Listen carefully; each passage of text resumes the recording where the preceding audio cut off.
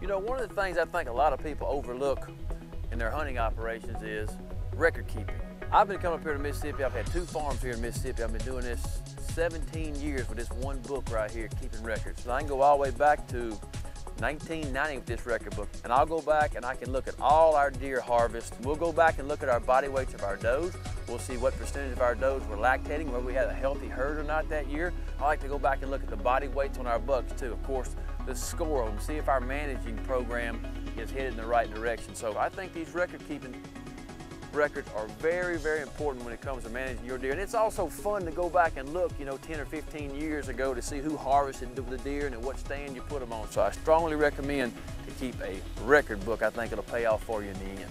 To learn how to better manage your deer herd, log on to evolved.com.